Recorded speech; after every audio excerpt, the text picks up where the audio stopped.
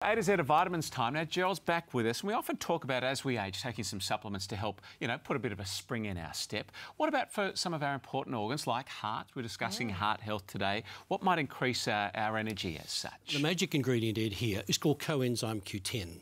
and it's actually concentrated in heart muscle. Okay. So it's the ideal thing if you're looking at heart health across the board, from blood pressure, from cholesterol issues. CoQ10 is worth considering. So, GQ, when we start taking supplements, just like this one here, the CoQ10, what else can it be helpful with within the body?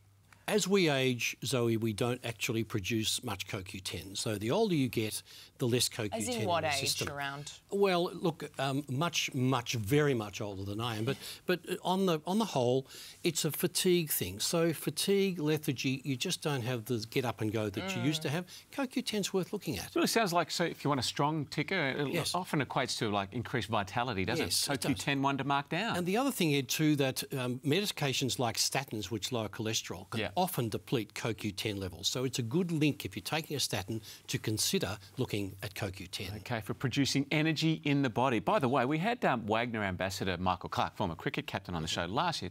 Um, he's still in great shape, trains really hard, uh, eats really well. He still takes all his supplements too, doesn't he? Of course. Yeah. And, and that probably shows the importance. Absolutely. By the way, the uh, A to Z of vitamins brought to us by Wagner Vitamins, a premium Australian pharmacy supplement range suitable for the whole family.